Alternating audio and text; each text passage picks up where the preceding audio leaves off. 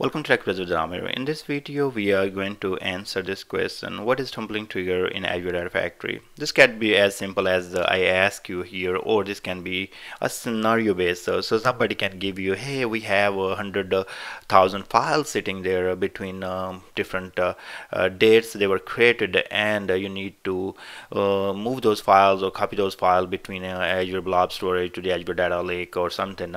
then how you would do that, and how you will only only maybe do first one specific day at a time uh, that's going to be one of the scenario they can give you.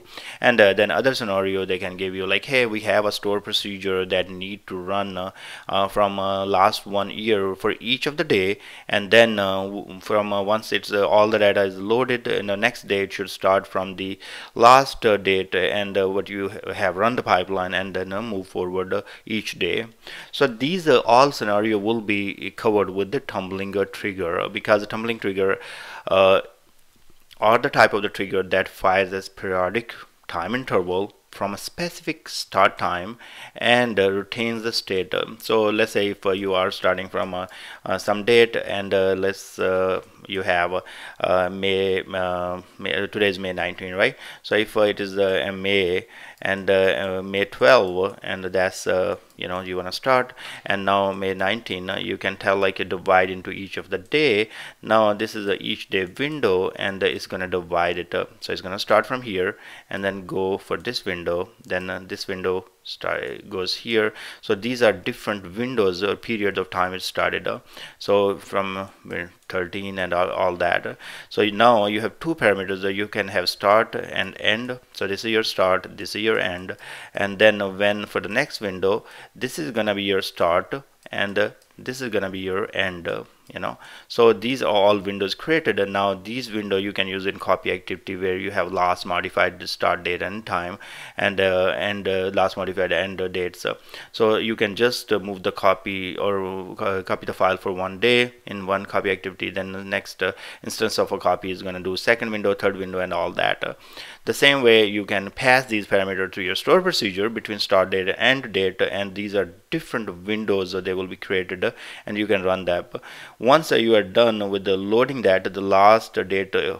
or time it will save they will be here. When the 20th come then it will only load the data for this date range.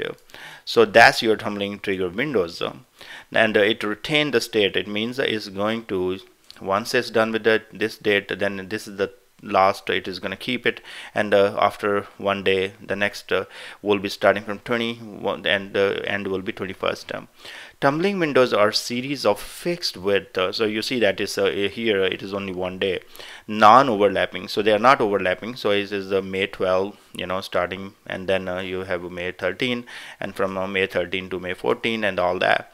Now a continuous time interval. So that's important. A tumbling window trigger has one-to-one -one relationship as uh, with the pipeline and only one reference a single pipeline um, as you notice that it is uh, keeping a track of the time uh, for which it has run uh, and uh, for which uh, for what will be the next time interval that's related to the pipeline. Because if you relate this to the multiple pipeline then once it's run for one it cannot keep that state so tumbling trigger is only specific with one pipeline and keep will be referenced by the single pipeline because it need to track the timer.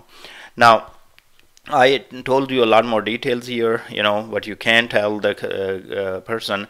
And uh, I have told you both scenarios where you are uh, using store procedure and you need to provide the start time and end time between your parameters. You can use tumbling trigger. And also, uh, I told you if you need to load hundreds of thousands of file and you want to divide them according to each day.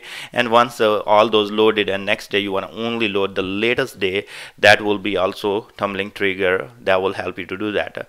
I have both scenarios and uh, in a detail uh, in my uh, videos. And what I'm going to do I'm going to put the videos here.